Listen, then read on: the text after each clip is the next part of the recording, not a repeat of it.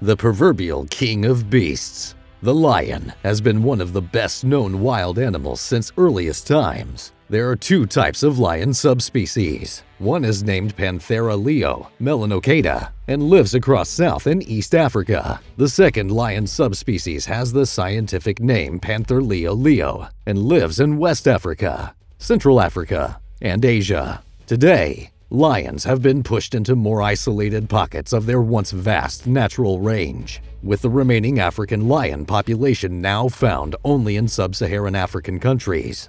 In India, a small population of Asiatic lions can still be found in a remote part of the Gir forest. Despite their dwindling numbers, lions are actually incredibly adaptable animals that can and will inhabit very dry climates as they get most of the moisture they need from their food. They prefer areas of open woodland, scrub, and long grasslands, where there is not only plenty of cover, but also a wide variety of prey. They are only not found in areas of rainforest or far into deserts. As you can see, North America is not on the list of places where lions live, but things have been different in the past. During the Pleistocene epoch, lions lived in Africa, Europe, Asia, and North America, giving them one of the largest ranges of any animal.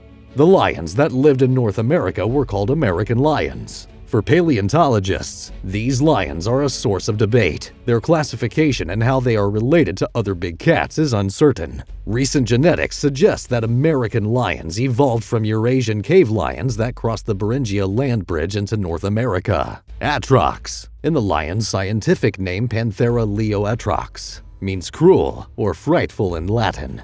And from what we can tell, this certainly describes American lions standing at almost 4 feet, or 1.2 meters tall at the shoulder, almost 8 feet, or 2.5 meters long, and over 500 pounds, or 230 kilograms in weight. American lions were bigger than modern lions. They had long, slender legs with retractable claws, and they could roar. Although it is not certain if American lions had manes or not, their large size and bulk, sharp teeth and claws, and long legs would have made them a frightful sight indeed.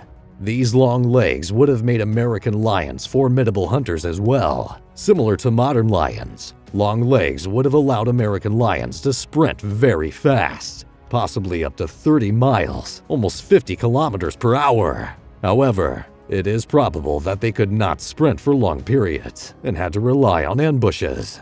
Being a carnivore, American lions would have probably hunted various other Pleistocene animals, such as horses, deer, camels, ground sloths, young mammoths, and bison. They might have hunted and lived alone or in small prides, kind of like modern lions. Whether the American lion hunted by itself or in groups, it must have been successful.